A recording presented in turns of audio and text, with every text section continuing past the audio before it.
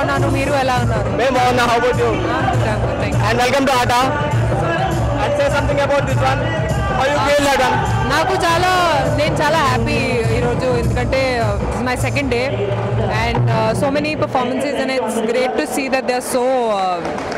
intrinsically in to the tradition so it's great to see that and I'm really enjoying every okay thank you thanks for your time